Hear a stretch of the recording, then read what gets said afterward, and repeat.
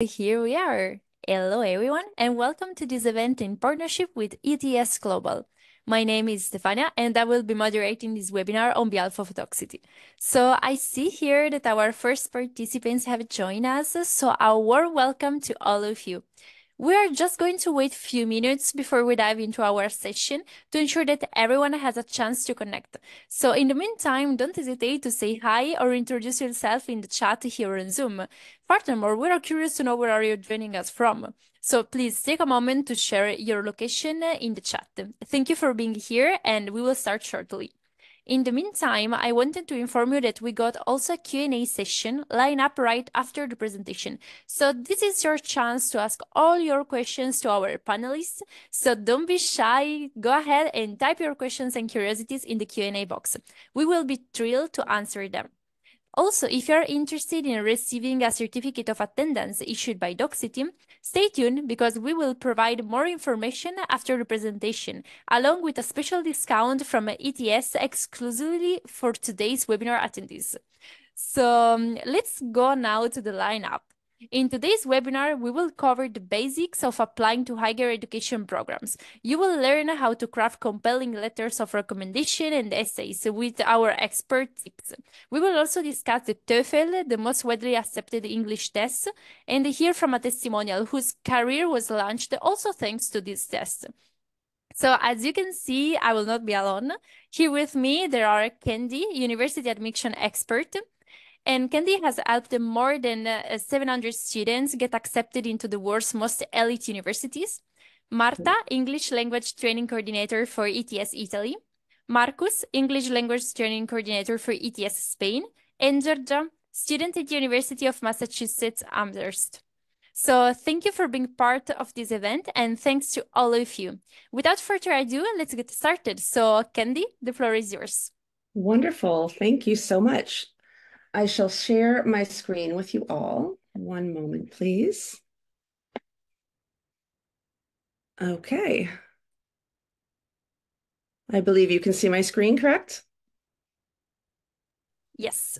Perfect. Wonderful. Thank you so much, Docsity. Thank you to ETS, um, to TOEFL, IBT, et cetera. It's so exciting to be here. I'm really happy to talk to you guys about um, study abroad and how to ace your university application to study abroad because I'm absolutely passionate about it. It's something I really and truly care about. It's my work. It's what I do every day.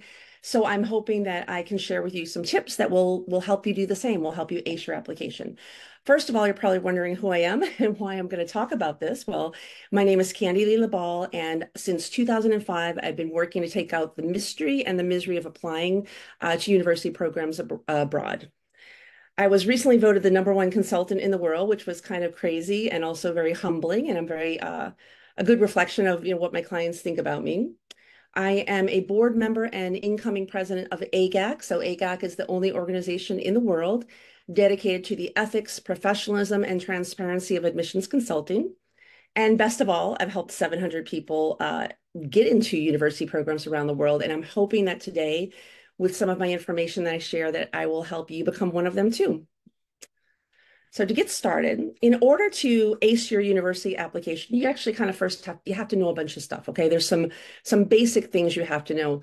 Uh, first thing is that there are different types of university degrees. So in order to um, ace the application, you need to know what you're applying to because the application process will be a little bit different.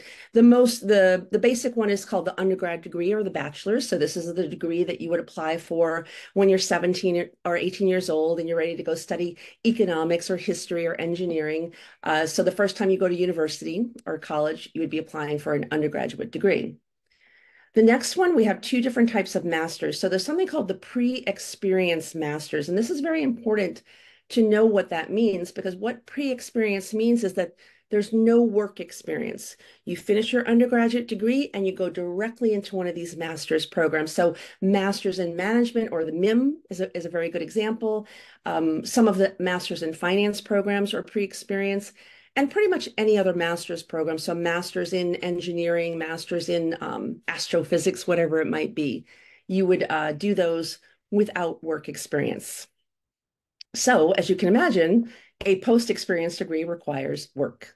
Uh, the most common post-experience degree is the Master's of Business Administration or the MBA.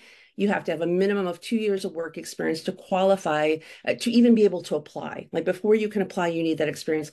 Some Masters of Finance, other different, different degrees like an MPA also require experience. So it's very important that before you start your university path that you know what kind of degree that you are applying to.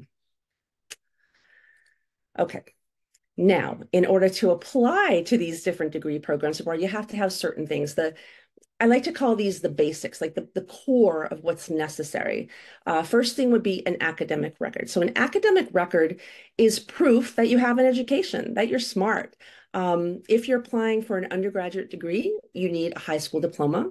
Uh, maybe you have an IB. If you're in Spain, maybe you have a bachillerato. Um, this is the your high school degree that says, "Hey, I completed my 12 years of study. I'm ready to go. You know, let me into your program." If you're applying for a graduate degree, whether it's pre-experience or post-experience, you're going to have to have an undergraduate already. It goes undergraduate, then master's, one and then the other. Um, so you have your bachelor's degree already.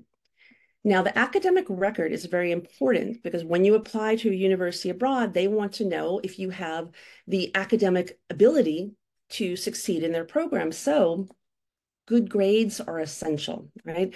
So any of you who are still sitting in your university program thinking, oh, I'm going to go abroad in a couple years, please focus on your grades. You want to get good grades because they really are going to help you um, have more success.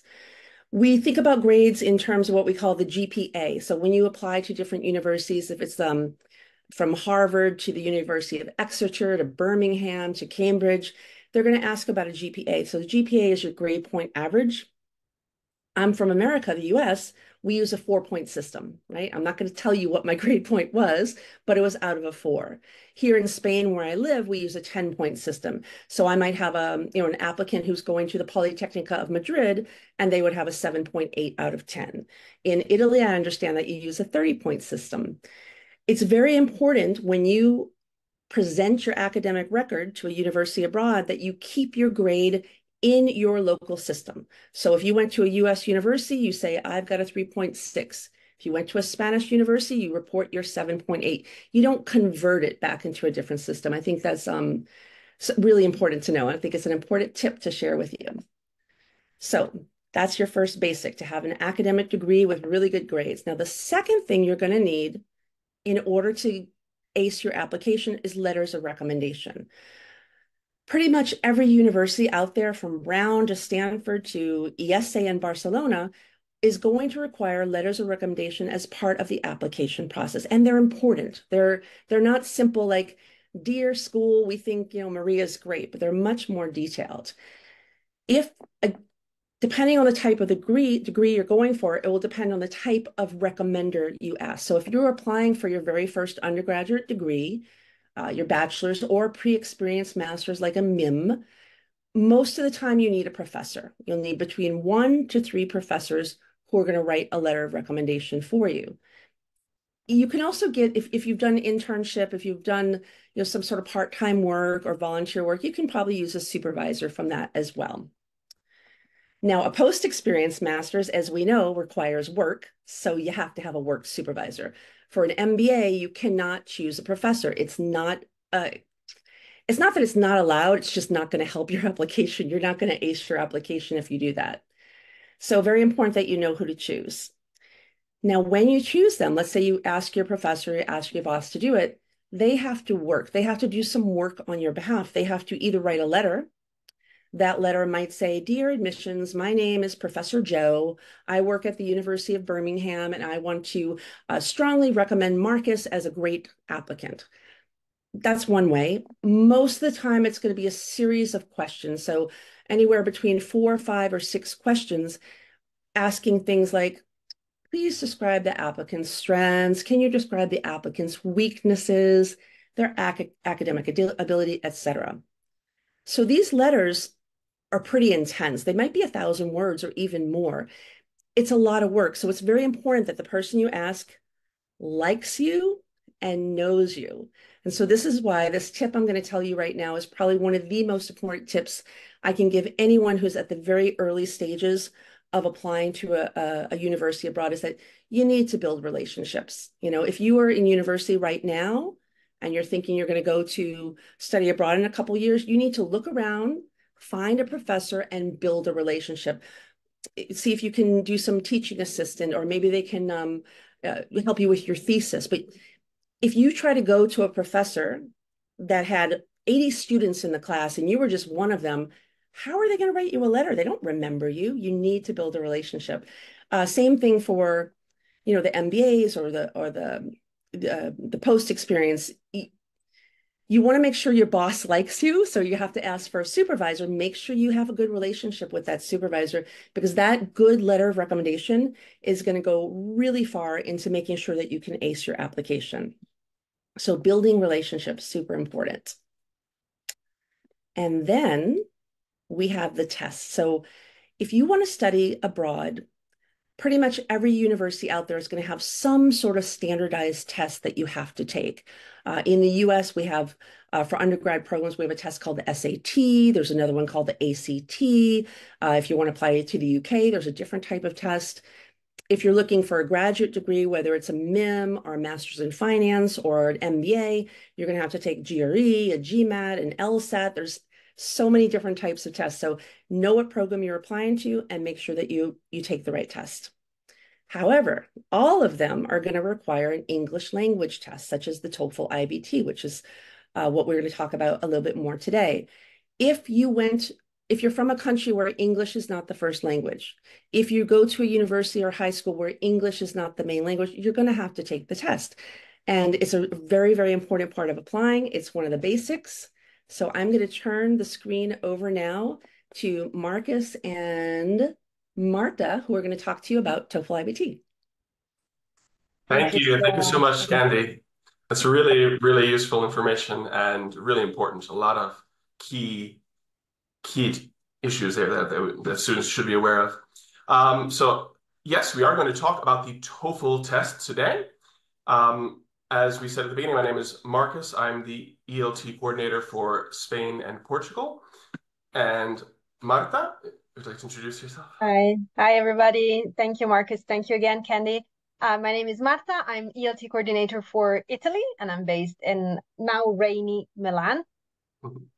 I'm based in luckily sunny Madrid. Always Originally from New York, but but based in Madrid. So welcome again, everyone. Bienvenidos a todos. Benvindos. Benvenuti a tutti. And let's jump right in to the TOEFL, which is a test. And what better way to start talking about a test than giving you a little test right here, a little pop quiz for you. Just a quick question. Do you know how many institutions accept the TOEFL IBT test worldwide? Don't worry, I'll give you four choices here. We have A, 2,500, B, 5,200, C, 12,500, or D, 125,000. What do you think? You can just take a quick guess, type it in the chat, A, B, C, or D. See? Okay, I see. Okay, I see some answers there. I see, oh, quite a few C's. Oh, okay. All right, anybody else? Last chance. Yes, the correct answer is indeed C. Uh, the TOEFL IBT test is accepted and preferred worldwide. Uh, it is actually accepted by over 12,500 institutions, meaning universities, grad schools, uh, for visa purposes as well, for professional purposes, for working as well in many countries, over 160 countries around the world. And one of the common misconceptions people have with the TOEFL is that it's a test that you only need if you're going to study in the United States. And while that's true, it is, it is accepted at 100% of universities in the United States, and it is the preferred test for 90% of the universities there. However, it is also accepted at 100% of universities in the UK, in the United Kingdom, 100% of universities in Ireland, Canada, Australia, New Zealand. uh, and it is actually the preferred test in many, many countries around the world.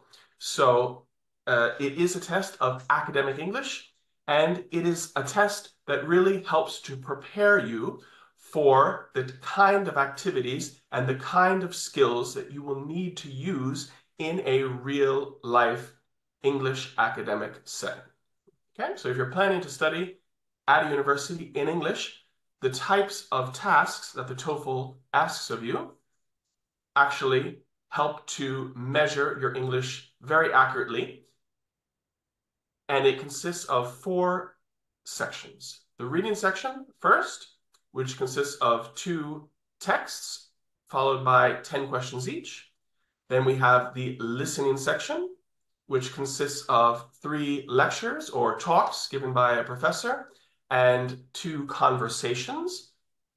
Then we have four speaking tasks, um, which actually are not just speaking, they actually use what we call integrated skills, meaning that it's, again, this is a, a test which is very practical in the sense that you will be asked to do things that you would probably have to do at the university. So for example, you would have to listen to a lecture by a teacher talking on a topic.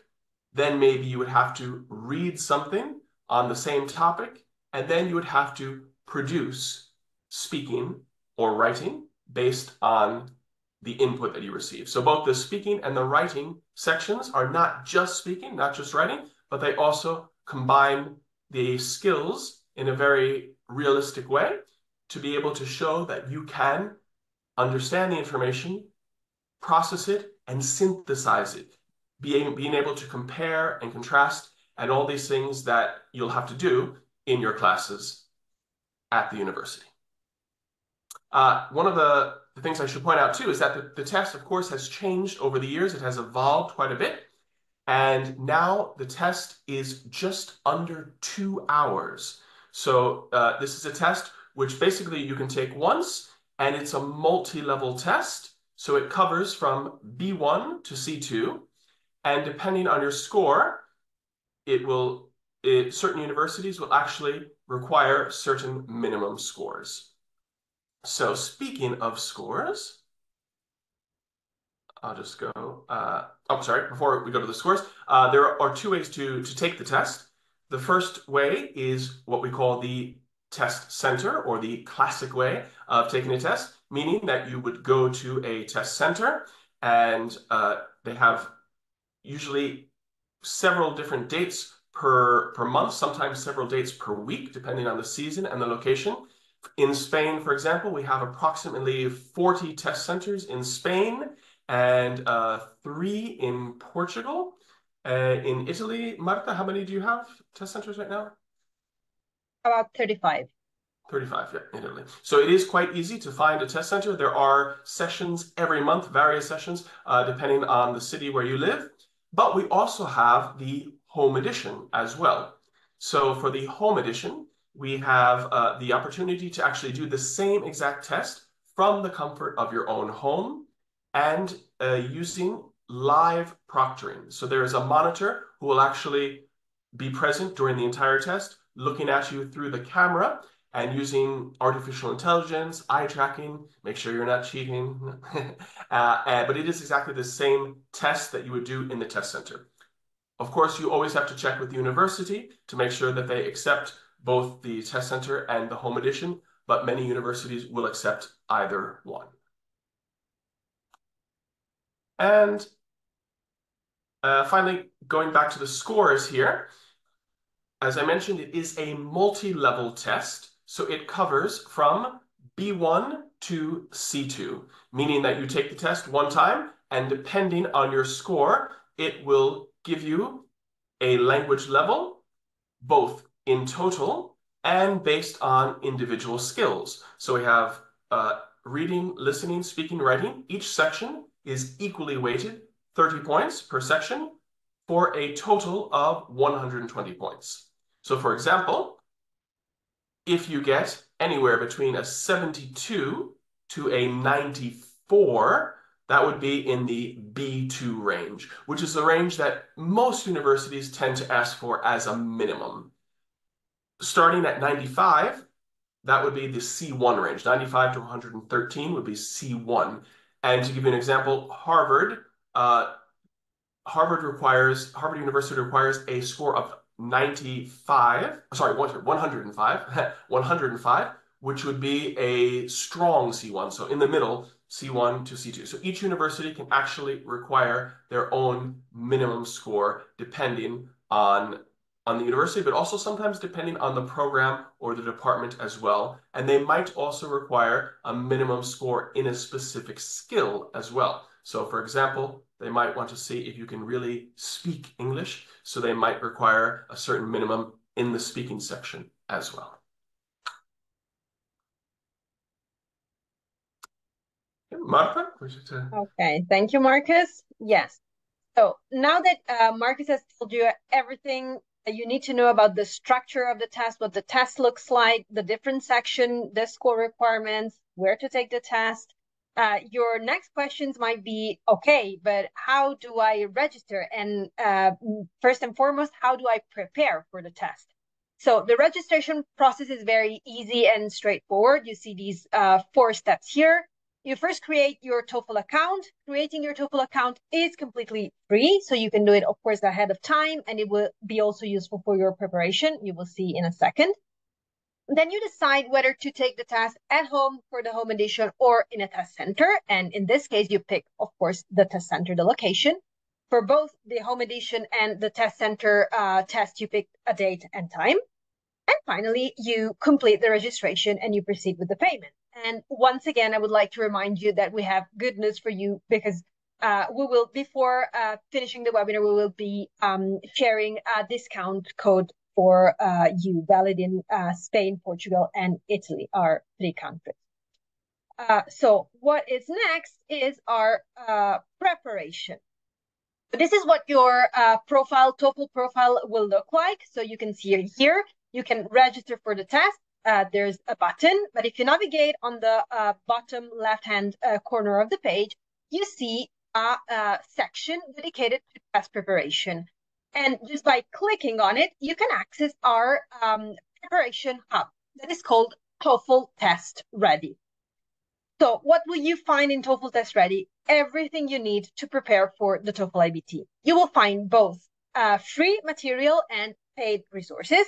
Uh, what we would like to um, share with you is always the free resources because what I always say, I don't know um, if you Marcus agree, is go for the free resources first, first, and then uh, if you need something else to purchase something else, you can uh, always do it in, in a second mode. So there are three main free resources in TOEFL Test Ready. The first one is the our first point here, the rotating activity of the day. So every day in the TOEFL Test Ready uh, portal, you will find a free activity that can be uh, listening, reading, speaking, writing, whatever.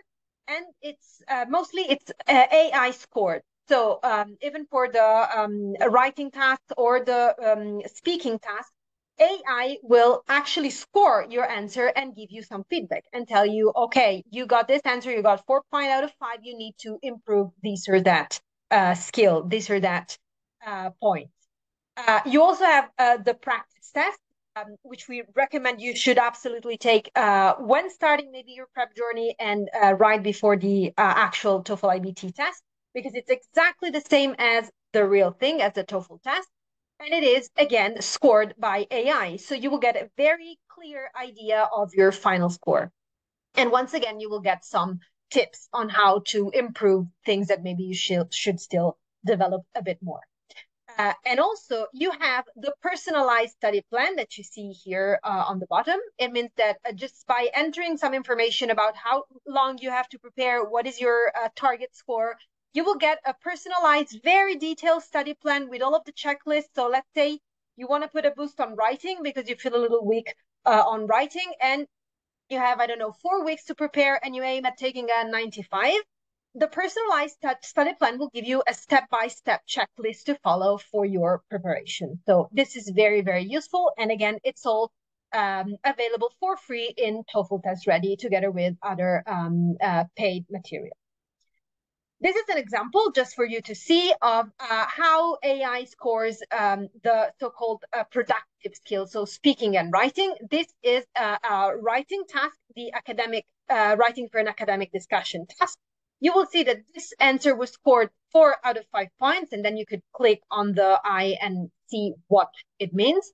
Uh, and it scores uh, these uh, language skills or categories. So grammar, usage, mechanics, organization development. And the problem with this uh, answer was in the organization development part.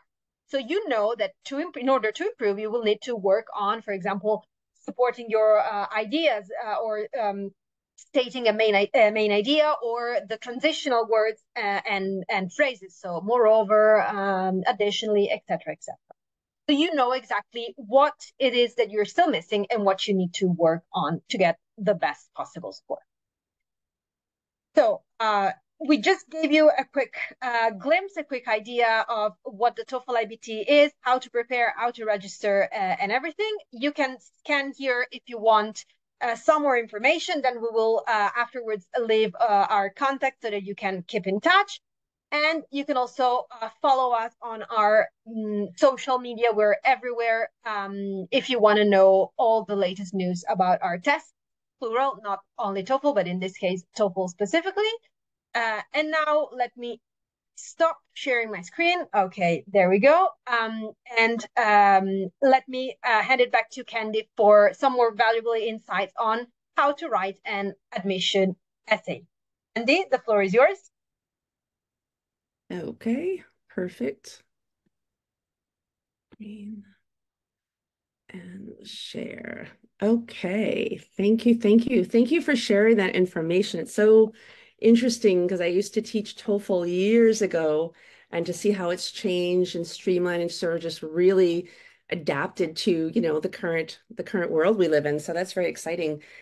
Thank you for talking about that. Um, wonderful. So let's I'd love to just do a quick review about what I was talking about um, before when we started this session, which is sort of like what I call the basics, right? You want to get into a, a, a, top university abroad, you have to have these basics. So we talked about a diploma or a degree.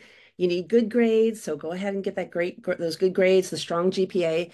Letters of recommendation are so so powerful. So build those relationships. Make sure you know which tests you have to take at which university and for which program.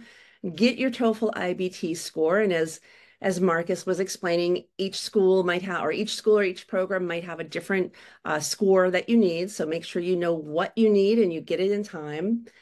Um, more basics of applying, you know, a lot of the, what we call the, again, the post-experience uh, programs like MBA, you have to have a resume, you have to fill out an application where you put a lot of data, you know, data points about yourself. It's actually called a data form is the name of the application.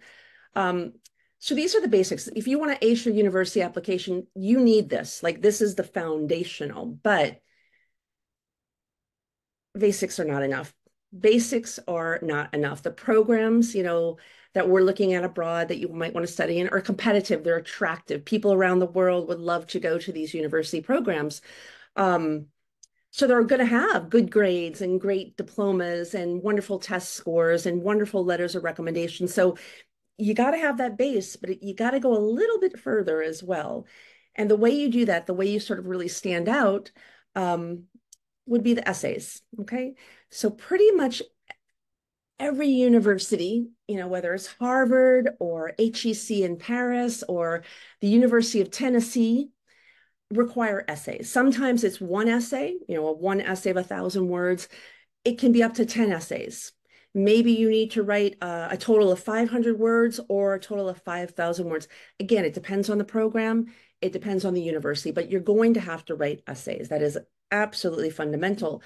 Um, and doing them well really is the secret of acing your application. So there's lots of different types of essays. So personal statement is a, is a fairly generic, uh, broad term. It's sometimes called a statement of purpose. So this is usually um, an essay that asks you, uh, why are you applying here? What do you want? Why are you going to this program? Uh, uh why do you think you're going to excel? That sort of thing. So it's a fairly broad and generic essay. Other essays are more focused, such as what are your goals? Tell us about your goals. What do you want to do following this degree? What do you want to do with your life? Some essays, um, you know, specifically ask more about you as a person. Tell us about yourself. Who are you? What makes you tick? Uh, there's usually going to be some sort of question around why do you want this degree? Why do you want to go to this university? Those are almost always a given. Uh, and so much more. There are so many more different types of um, essays out there. Here are a couple, well, a few, I've got six here, that are in um, circulation right now, that people are writing these essays right now for different programs around the world. Uh, share something meaningful to you. So here, the school would like you to share something that you care about, why you care about it, how it enriches your life, etc. Um, another common essay is a time you faced an obstacle or a challenge. And of course, what did you do and what did you learn? Uh, tell us about someone you admire is also uh, a common essay.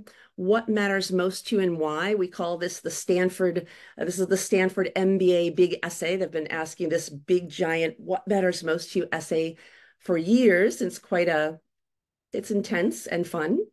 A time you promoted inclu uh, inclusivity or you promoted diversity um, or, or any sort of form of tell us who you are, right? Uh, there's a wonderful essay from Duke University that says, list 25 random facts about yourself, which is a really, really fun essay. So essays come in all sorts of different shapes, all sorts of different um, requirements. Before you write them, though, I want you to understand, this is very important, there are some rules you have to follow. Every year I meet applicants who applied, they gave their heart and soul, and they're like, I didn't get accepted, what happened? And when I go to check what they did, I found out that they broke some basic rules. So one of the basic rules is answer the question. Okay, that seems obvious, but many people get so overwhelmed like i'm applying to mit oh i'm applying to cambridge. They get really nervous and they end up going off going off uh, off track. So maybe the question says what are your goals? You know 300 words what are your goals? And they spent 200 words talking about their grandfather's childhood in Peru and uh, the civil war in, in Ethiopia, or just something that matters to them and makes sense in their head, but it's not answering the question. So answer the question that is being asked. Two, follow the guidelines. So every essay has a guideline 500 words, 50 characters, um, double spacing, um, some sort of like formatting that you have to follow if you don't follow those guidelines, pretty much all this amazing work that you did to apply is going to be jeopardized because you didn't follow the rules. So please, please, if they say essay limit is 500 words, okay, you can write 504, but you can't write 520. You need to follow the rules. Um, Number three, use clear, use a structure. So in English writing, um, as you as you probably have learned already, there's always going to be a beginning, you know, introduction, the middle, which is sort of the body of your essay, and then an ending. You want to have that sort of clear structure. You want to use clear and normal language. So applying to university is not an exercise in poetry or literature. Well, I mean, if you're applying for a master's in poetry, yes, then you have to be poetic. But for the most part, you need to use clear, normal language. Answer the questions in the type of words that you use every day. You don't have to use fancy, crazy words that you don't normally use. Um, of course, the words you do use need to be correct. You need to have correct grammar, correct spelling, and punctuation, which means you need to get your essays edited and proofread. Now, you can hire an admissions consultant, but you can also ask your mom, a friend, a colleague, um, you know, a lot of different people can sort of help you. You just don't want to write and send it on your own. Definitely have someone take a second look. So these are the rules. All right. The next thing you need to know, even before we start writing, is you need to know who is reading your essay. So again, a lot of people get very nervous if they're applying to um, to Oxford or they're applying to Berkeley or UCLA. and They get super nervous about it. Oh, I gotta, oh, I don't, you know, I gotta, do, you know, I gotta be so impressive and stuff, and they forget they're talking to a person. The, the, there is a person reading your essay. It is a, a person who maybe that morning got up and stubbed their toe or got stuff stuck in traffic or whatever. They just got engaged. But they're a person. You need to remember that they are there reading a lot of essays in one day. Some schools have 30, some up to 100 in a day. And I'm actually not kidding there. So it's intense. It's an intense job for them. They're reading and reading. Maybe they're going to spend five minutes on your essay. Maybe they're going to spend 15. Um, Harvard Business School, I know for a fact, will spend two hours. Thank you, Harvard Business School, for taking that, effort. But for the most part, they're they're whipping through it. So they need to understand your answer, right? Remember what I said, you need to answer the question and follow the rules. This is where it matters, okay? So they're stressed, they're going through this, so they're under pressure, and your job as the essay writer is to make their job easier by writing essays that they're going to like, writing essays that make them like want to know you more, that they're reading and maybe they smile, maybe they're thinking, oh, this is hmm, this is not just another engineering student. Yeah, ooh. And suddenly they like you, right? Now that sounds like nice, simple advice in this beautiful bullet point. I know it's not that that easy. So let's go look into a little bit more about how we do that. I talk to a lot of admissions people all the time. Um, once you start your university process, you're going to be reading blogs and essays, and you're going to hear these two words nonstop be authentic, be authentic. What are you looking for in admission in an essay? We want to see applicants who are authentic. But what does that mean? What does it mean to be authentic? Well, it means a lot of different things. It means to be honest, to be you. Don't make up some stuff. If you graduated, you know, number three in your university, don't have to talk about you graduating number one. Don't, you know, just be honest. Uh, if you graduated number 50, it doesn't matter. Be honest and be you. Tell your story in your own voice, in the words that you would use. Now, I have to add here, please don't use Chat GPT. Chat GPT is not at a level yet where it emulates a real authentic voice. Um, and think about it. Imagine you're at a party and you meet this amazing person. They're like, oh, tell me about yourself. Are you going to run to the bathroom and pop into Chat GPT to get your story out perfect? It's like, no, you're going to start telling your story from your voice. That's the voice you need for your essays when you're writing the essays, another way to be authentic is to share the why behind your choices. Now, it's easy to say, you know, I I chose to study um, biology. You know, I have a degree in microbiology. I have a degree in environmental sciences, or I started my career here, or I decided to move there that's fine. Those are facts, but we need the why. Why did you study these things? What excited you about biology? Why did you move to Germany? Why did you do these different things? Because that's what start making makes you more authentic, right? It makes you more real. Don't be afraid to share what you care most about. Remember a few slides ago, I told you about that wonderful Stanford essay that says, What matters most and why?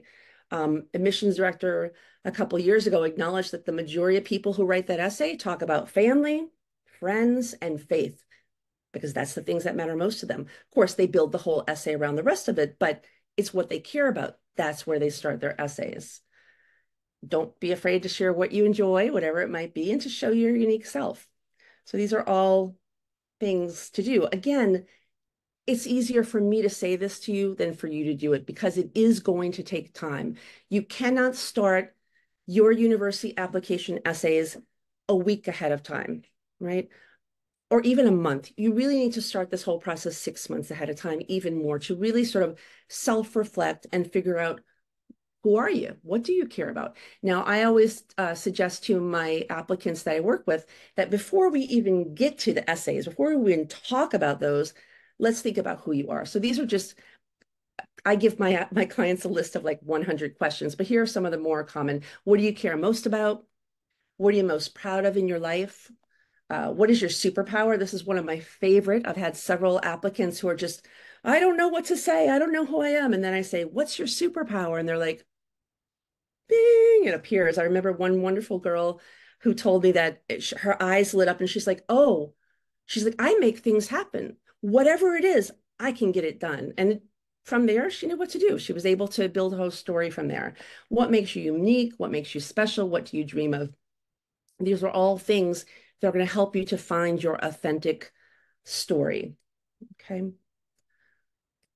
Uh, I want to give you a couple of quick examples just so you can kind of see what this looks like in an essay. Now, you could begin an essay saying, I graduated at the top of my class in my country's best engineering program. That's fine. That's, that's okay. Or you could say, I always loved taking things apart to see how they worked. So going to engineering school was a dream for me.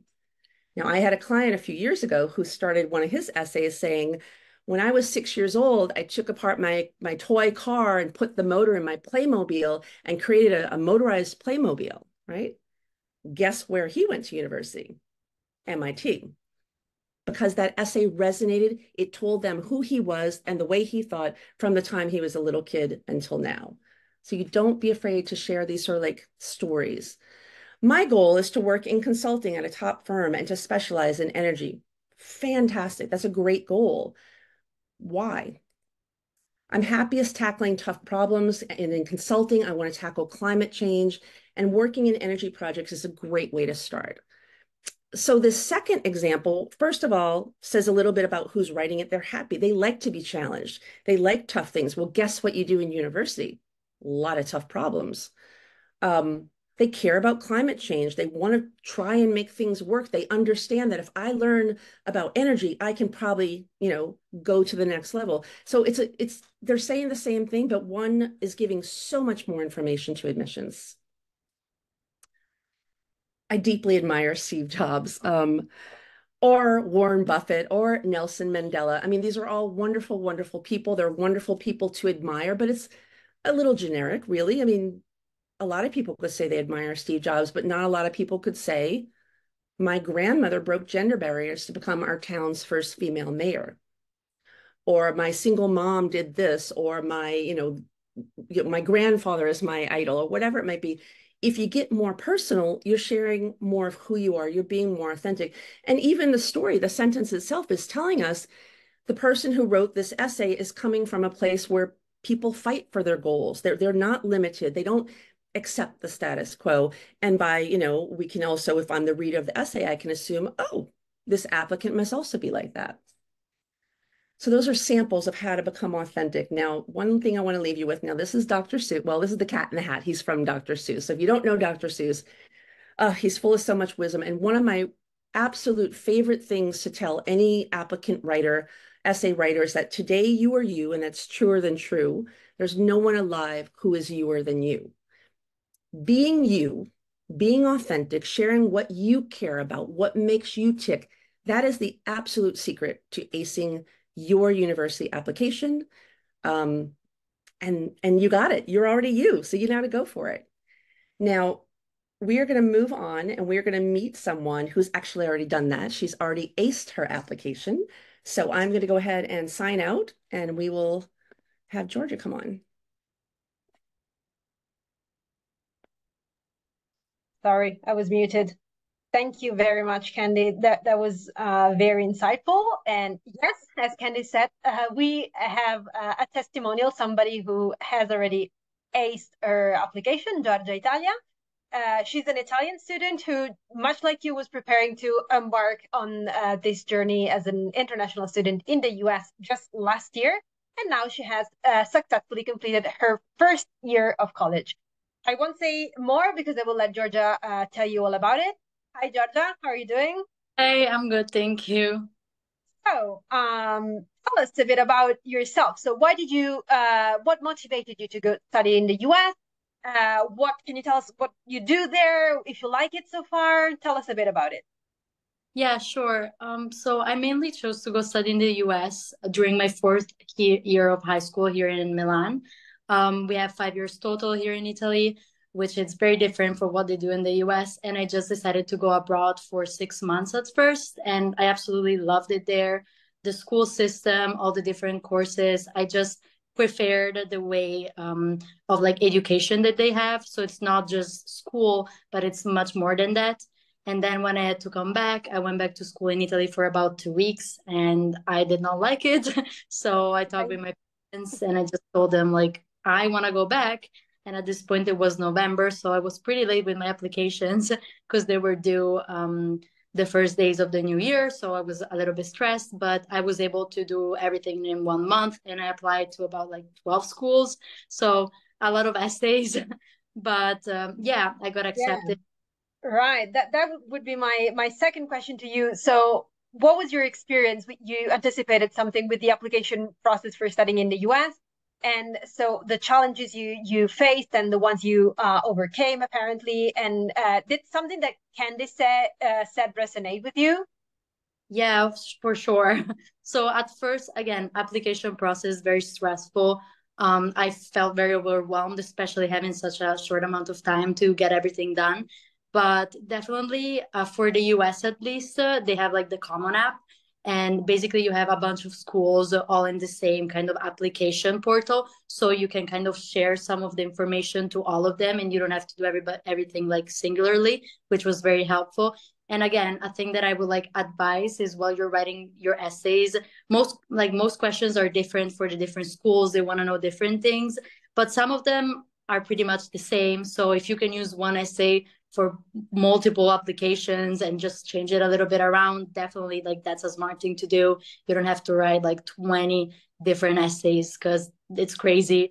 Um, but yeah, and then again, applications letters for sure ask someone that like actually knows you because they want to know personal things about you like how you act in like the real world and not only how your grades are. Of course grades are also important but they want to know if you could fit in the environment of the school and the community that you're going to join. Uh, that was like a big thing for me uh, that i also wrote on my essays I also had a few interviews for like scholarships, and I saw that a point that they were really interested in was like community and being a member. They want you to go to university and be a great student, but also be part of like their everyday life, clubs, association, everything that they have to offer, sports. It's much more than just school, even though of course the academic part is very important. So definitely essays was a big part. Get I had like my parents read them over. Um, that was very helpful and and yeah application letters people that know you that can like talk well about you um, for sure. And then they want to see your extracurriculars volunteering. Um, i think volunteering is also something that makes you kind of stand out because you do things that you like such as sports clubs but also something that is like not for yourself but for the community. And again big on community. So that would be um, the application part that was very important for me definitely um, and I you also haven't told us yet, Georgia. Sorry to interrupt. You haven't told us yet what you study and where. Oh yeah, sorry, my bad. Um, so I'm a student at the University of Massachusetts Amherst. I just finished my first year, and I'm studying. My major is animal science, and I have a minor in art history. So my to become a vet, so I'm gonna try to get on the pre-vet track next semester, and I'm loving it there so far. Really, um, I love the school. I love the area. Um, also, a big part was like the area for me choosing like where to go. Uh, so I'm in Massachusetts, kind of near Boston, like two hours from Boston. Yeah.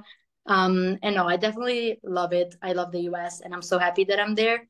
Um, and also part of the application process that I was just thinking about, definitely the language proficiency, especially as an international student, that, that you're able to understand the courses and that you can live exactly um, country because otherwise it won't work.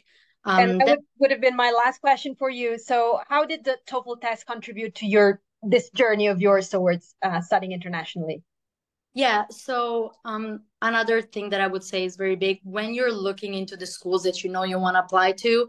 They kind of all have this different like proficiencies uh, that like exams specifics that they wanna uh, they want you to give them. So definitely see where you want to go and then look at all the exams that you have to take. Because for me, it was multiple ones. Um, and the TOEFL, I did it online uh, last year. Yeah, so I had it like proctored. I did the practice, everything that you were talking about earlier. Um, and then I got the grade that I needed uh, for certain schools, um, not for others. But you know, again, you have a big variety of all the, the proficiencies that they need. Uh, but yeah definitely it helped me. And also in the schools that didn't like require the TOEFL um, I still sent it in because I was like I mean I might as well. It looks good. Like they can see that I have multiple like proficiency exams. I'm well rounded so even if you have to do multiple ones and that could be a little bit overwhelming still like take advantage of that and stand everything in. I feel like the more the better um but yeah because you definitely have to like sponsor yourself without then you know becoming cocky and everything. I remember a big part for me was i don't really like just like talking about myself. Um but you have to do it a little bit in your essays because they want to know about you. So definitely you have to open up a bit. Well thank you so much georgia. Best of luck for your future as a as a vet. Thank you. uh, and uh, uh, i see we already have some uh, questions. So First of all, again, Thank you. Gracias. Grazie. And uh, I see that we have. Obrigado. Obrigado. Oh, sorry. I forgot the Portuguese. My Portuguese friends. Um, so. Okay. okay I guess, yeah, so... we can open the floor. Thank you so much, George. It was really great hearing from you. Thank you. Your experience. Um, so we can open the floor to questions. Yes, so thank you to all of you. It was really interesting. And so we got different questions. So let's start. Um, uh, the first one is um, I really need to understand the difference between IELTS and TOEFL, which is better if I want to study abroad. If we had a Europe every time they ask this question, right, Marco? yeah. Okay. Well, we're not going to get into which is better, um, but we, we will say that uh, they're, they're similar in many aspects. Um, but basically, what it comes down to is where you're applying and what they're requiring. In general, the, the TOEFL is is accepted everywhere the IELTS is and more. It's actually the most accepted test of academic English for admissions purposes in the world. Um, and it is more accepted within North America than the IELTS. Everywhere else, they're accepted uh, equally, more or less. They're both accepted 100% of universities in the UK, 100% of universities in Ireland, Australia. So it really just kind of depends on, on what you're looking for. Uh, the TOEFL is sh a shorter test. It's uh, it's just under two hours now. Um, so so that might be uh, an advantage for you. Yeah, and one more difference, uh, and again, it depends on you yourself what you prefer, is that the speaking part for the TOEFL is within the same session. So you won't have to go back or in the afternoon or take the test, the speaking part another day. And it's um, uh, via computer. So you won't be interacting with uh, an examiner uh, that will be asking questions. It will be all um, within the same session with your own computer or the test center's computer if you choose to take it at a test center. Perfect. Thank you for clarifying this. So um, let's move to the next one. Um, they are asking uh, if the platform for TOEFL is free. Yes, TOEFL Test Ready is absolutely 100% free. It's uh, you just have to register, like to create your own TOEFL account. Once you've created it, you can access the, the platform. There are some paid materials, but you will see where they are. The rest of it is 100% free.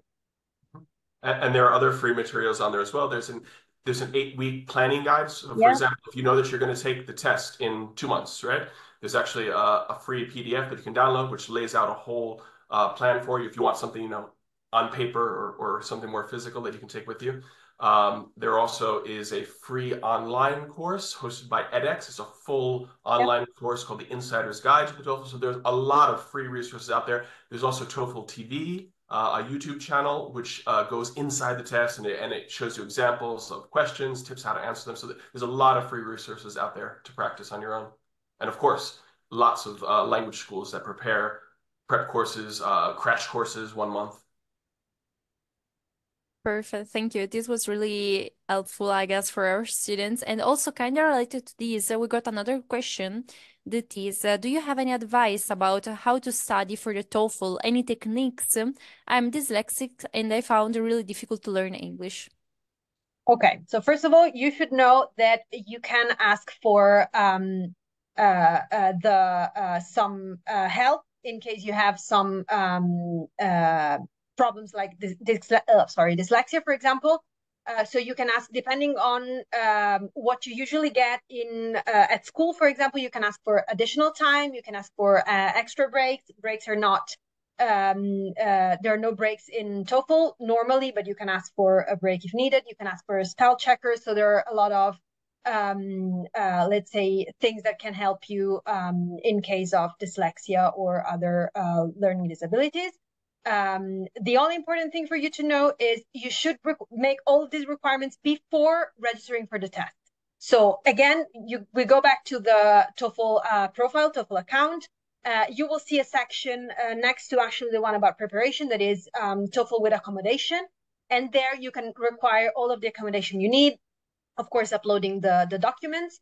Uh, and you can uh, then send out the, the request. And once it is approved, you can register for the test for the test. So this is the only step to um, to remember.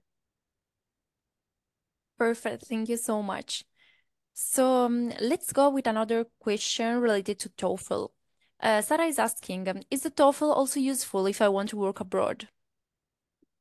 Yes. Marcus, you want to take this?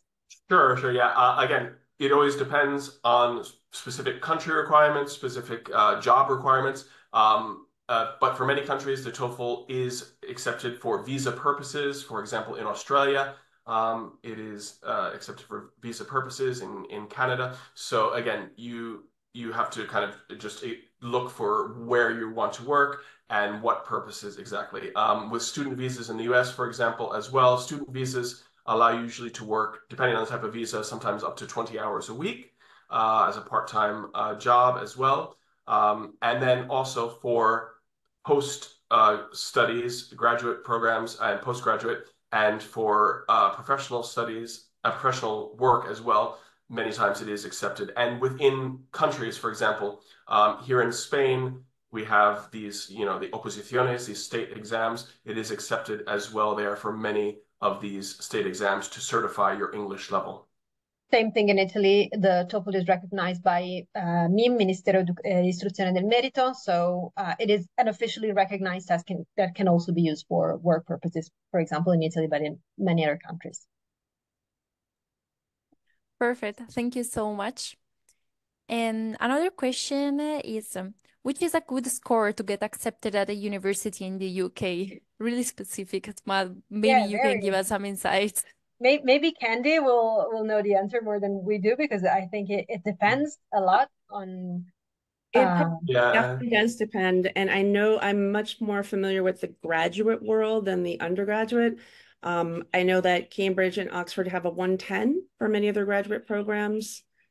So, you know, Mhm. Yeah, yeah, I think in general, most undergrad schools in the US, for example, usually require somewhere in the 75 to 90 range. Um, Mhm. but uh, Harvard, for example, requires a 105. Um, so kind for of most school is require 109. Yeah. strong B2 range.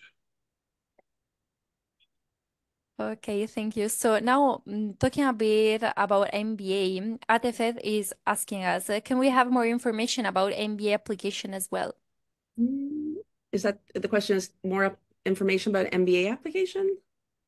Uh, yeah, I guess like suggestions um, uh, for essays related to the MBA. So you do, if, you're going to apply to an MBA, like I said, the first thing you need to know is you, you need to know what you're up against. So you need to know what's required from the test to the letters of recommendation to your work experience to your resume. Um, MBA applications run in rounds. So right now we're in the end of May and we're already it's it's on. We are in the the throes of applications which are due in September. Um, so you kind of also have to know when the deadlines are and, and get started in that process. Um, yeah, there's tons of information out there. Um, it, it, a lot of it's good. a lot of it's very confusing, but I would say just try and figure out the main steps, which is to figure out what schools you want to go to, do your research. If you go to any school for MBA, like if you would go to London Business School or Columbia, you attend one of their events and they tell you what you want to know. So, for example, if you're in Madrid, both Columbia Business School and Wharton are coming to Madrid in, in a month. So attend those events and you'll know what to do.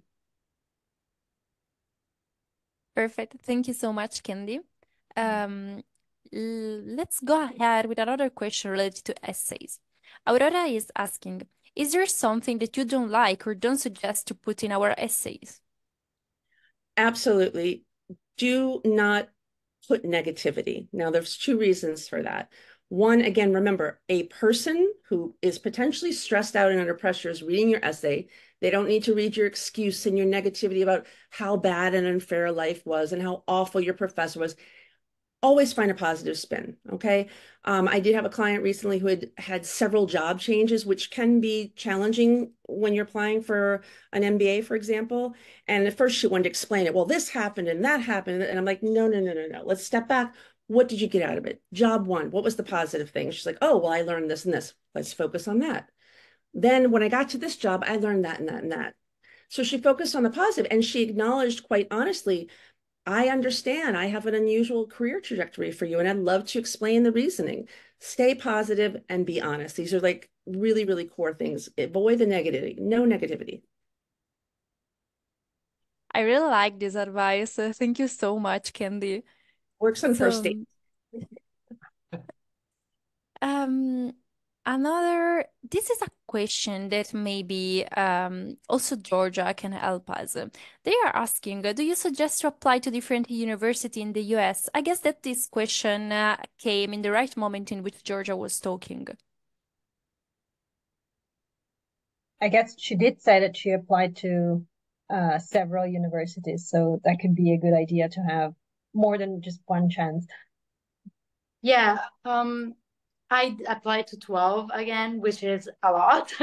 Uh, but you know, I applied to like a big variety. What I've heard, at least what my counselor told me at the time, is that there are like three different levels. So like the like the higher ones, so like the Ivy Leagues, the ones that are like really hard to get into, and then that there there are the ones like you can get into like your levels and then you know depending on like also what you want to do it's very specific. Every university really the level depends on what you want to do there because they have like different majors. So i would definitely say apply to different ones because you never know if you're like gonna get in or not and it's better to just have like a backup. Also because some schools maybe won't like get you just because like accept you because they know that like you're not gonna go here and you apply just like for safety. So you know the more you apply the more variety you have and also you can choose and it's always better to choose than just like have one choice that is like pushed into you.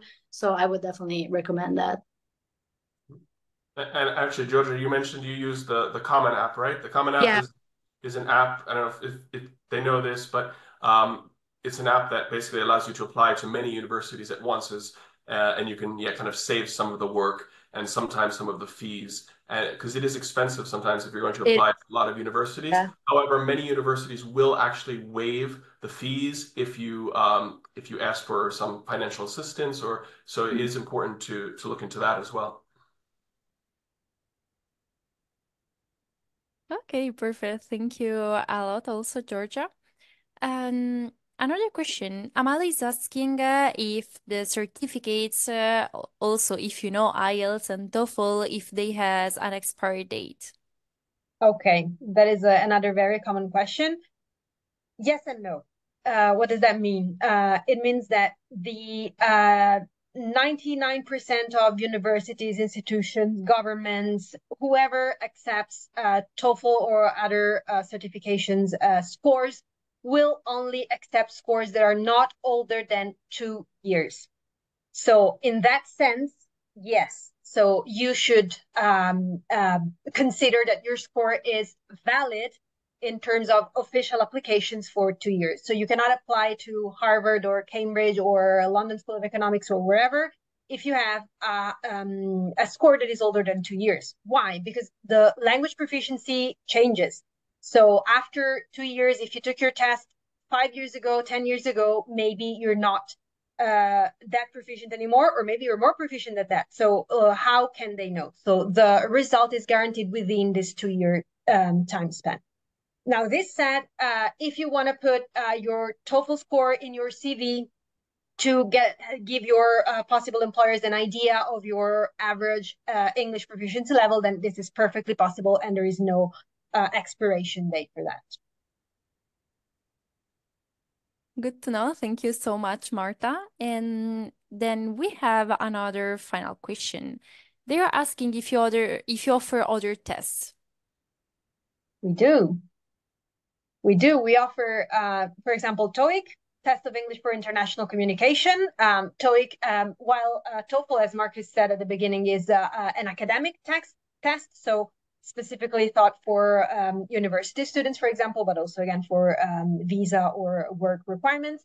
Uh, TOEIC is more based on the everyday life or uh, work life. So the situation uh, you will find are um, uh, are different. The the listening tasks or the writing tasks are not um, like uh, do not take place in an academic environment. Unlike TOEFL, they take place in an everyday life environment. Uh, we also offer GRE, for example, that is not an English uh, proficiency test. It is a test in English, but uh, it is used for um, to assess um, uh, quantitative reasoning, verbal reasoning. So uh, it's uh, often a requirement by, for example, um, for um, application to MBAs or um, engineering school, something that is more technical. Am I forgetting something, Marcus? Yeah, and also just to point out, so, so yeah, the GRE test, which Candy mentioned, actually is a really big requirement for master's programs around the world as well. So it, it's a general knowledge test, uh, basically. Um, and then also the SAT, which Candy mentioned, which yeah. is uh, a, a, test that most universities require or recommend for their applications, is actually um, the ETS works very closely with the College Board in the US for the design and administration of the SAT as well. So uh, Educational Testing Service is actually the, the largest private research and assessment institution in the world. So. Thank you. Uh, this was really interesting. So thanks a lot to who made this question. So, okay, I guess that we're done with the questions. And we would like to leave you with uh, what we promised before. So this is the uh, discount you get, once again, valid for Italy, Spain, and Portugal, the countries where uh, most of you are from. Uh, and it's a 50% uh, discount code for the TOEFL IBT. Uh, so it's valid until the end of September. So when registering, just um, insert this uh, doc, TOEFL CT3 discount code and you will get 50% off. Thank you so much, Marta. Okay, so thanks again to our panelists uh, to be with us today, and thanks to everyone to have joined our webinar. So I've been like, I'm really impressive because you were really curious and responsive. So I'm really happy to be our panelist today. So I hope that um, we have reached our goal and that you learn a lot from this webinar made in collaboration with ETS Global. I'd like to remind you that you can contact our panelists at the email that uh, you saw in the slide. So maybe Marta, if you can go. Sure. Okay. In this way, also our student can take note uh, of your email, and also you can discover more about their tests in um, in the website that you can see here. So if you're interested in receive our certificate of attendance, you can also click um, in the link that I've sent now in the chat. And keep also in mind that we will share the recording with you in the following days, so keep an eye on your email. At this point, I wanted to ask our panelists if you want to leave a message before saying goodbye to our students. Good luck. I would say do not give up. The process of applying to a university abroad is long, but you are on the right path. So don't give up. You got it. And don't use ChatGPT for your essays. All right. Thank you so much, everyone. Thank you. Thank you. It was a pleasure. Gracias. Obrigado. Gracias.